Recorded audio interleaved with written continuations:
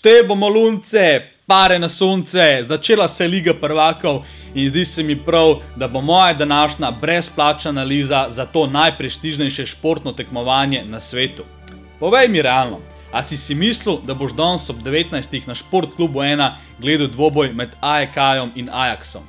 Verjetno ne, ampak ga boš, ker imam zate eno super stavo. Kvota je zelo solidna, odigraš pa jo lahko kjerkoli tudi na e-stavah, se pravi na športni loteriji, kjer je mimo grede ta stava celo single. Celo noč sem pegl levo, desno, stavno listo in kljub temu, da je marsikjer obračun danes bolj atraktiven od tega, sem se na koncu odločil za stavo na tekmi med nizozemskim podprvakom in grškim prvakom. Enostavno se mi zdi pač stava na tem dvoboju najboljša in treba jo izkoristiti. To bi znala biti ena taka dosti bedna tekma, ampak ti si jo lahko začneš super stavo. Skratka, imamo dva popolnoma različna sloga. Na eni strani atraktivne nizozemce in na drugi strani defenzivne Grke. Razlika v individualni kvaliteti ekip je ogromna. Veliko pove že to, da je igralski kader Amsterdamčanov vreden 225 milijonov evrov, medtem ko Atenčanov zgolj slabih 40. A s tem se nimaš kaj dosti pomagati, ker to izraža tudi kvote.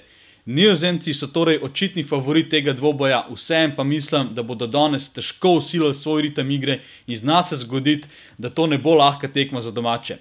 Nekako pričakujem, da bojo Grki uničili igro, zelo obrambno igro, se pravi, obranili se bojo in vse mi govori na to, da bi danes morali gledati neko tekmo z malo zadetki, mogoče celo brez zadetkov. Eden ključnih faktorjev za mojo stavo so zagotovo odsotnosti. Mirno lahko rečemo, da so Grki tista ekipa, ki je v tem obračunu bolj hendikepirana zaradi uh, odsotnosti. Se pravi, tri igralci nimajo pravice nastopa zaradi rdečega kartona in od tega sta dva napadalca, katera načeloma začenjate v prvi enajsterici skos. To sta Hrvat Marko Livaja in grški reprezentant Bakasetas. Tretji kartoniran je prav tako član prve enajsterice in sicer španski vezist Lopez. Če k temu dodamo še poškodbo napadalca Luka Sabohe, lahko hitro ugotovimo, da bo AEK danes res zelo težko zadev. Treba se je zavedati tudi to, da jih je v poletnem prestopnem roku zapustil prvi strelec lanske sezone Sergio Araho. Zdaj, tako je, zadev bo je težko, ampak vprašanje je sploh, koliko si bojo oni danes zadet želeli. Jaz mislim, da od njih lahko pričakujemo zgolj eno tako čvrsto igro, čvrst bunker, Konec koncev je tudi njihov trener Ozonidis bil kot igralec branilc in na tem temelji njegova strategija.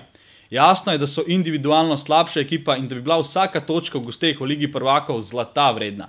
Zagotovo jih ne gre podcenjevati, ker se znajo res dobro braniti. Letos po treh tekmah v prvenstvu še niso prejeli gola, tudi lani pa so bili v prvenstvu najboljša ekipa, kar se tiče branjenja.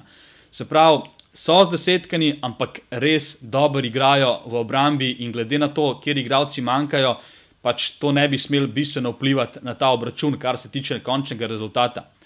Um, jaz sem prepričan, da bodo oni danes res drago prodali svojo kožo in težka naloga čaka danes Ajax. Poleg tega pa se bo tudi AEK na tej tekmi ponudila maksimalno ena ali dve priložnosti. Tako da, a bojo oni iz teh dveh priložnosti oziroma ene zadel, verjetno ne. Pri kvotah, kakršne so, uh, res ne smemo vzeti Ajaxa. Prišlo je tudi do public beta in enostavno ne podlejš te množični stavi. Uh, čeprav realno gledano bi oni mogli ta dvoboj dobiti, ampak 1,35 je preslabo za karkoli praskati v takem dvoboju. Ajax je enostavno, um, da pač mora dobiti doma te tri točke, ampak kar se mora, še ne pomeni, da se bo zgodil. Tako da um, to je ena najmlajših ekip letošnje lige prvakov, 23 let pa pol in njihova poprečna starost. In vsem bi to znal biti ta pritisk neke nujne zmage, mogoče prevelik celo za to ekipo. Če ne bojo zadeli v prvem polčasu, se zna zgoditi, da je ka iztrž en ugoden, pozitiven izid, mogoče celo 0-0. Um, tako da imajo tudi oni, tudi Ajax ima nekaj težav z odsotnostmi, ampak to niso neke zelo pomembne. Tako da, um, kot sem omenil, Ajax je tisti, ki igra na romantičen način, bolj ofenzivno, kar pa mu danes njihov nasprotnik ne bo pustil. Oni so tudi zelo čvrsti v obrambi, to je treba vedeti. Na vratih ima enega najboljših mladih afriških golmanov na svetu, Kamerun Conana. Um, potem pa v obrambi recimo Delikta pa Blinda, ki je posojen iz Uniteda. Skratka, govorimo o eni čvrsti ekipi, ki je bila tako kot Ajka, tudi Ajax lansko sezono najboljša obrambna ekipa v ligi. Letos uh, so v petih kolih prejeli zgolj en zadetek, kar je super in potrjuje dobro obrambo. In glede na vse povedano, se pravi, me zmagovalec v tem dvoboju ne zanima.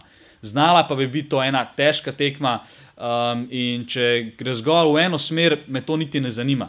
Sej na tej tekmi vzemamo stavo, da AEK ne zadane, se pravi, AEK ne doseže zadetka. Za to stavo dobivamo super kvoto 1,88 in to je treba vzeti odprtih rok, z enim konkretnim vložkom 7 enot.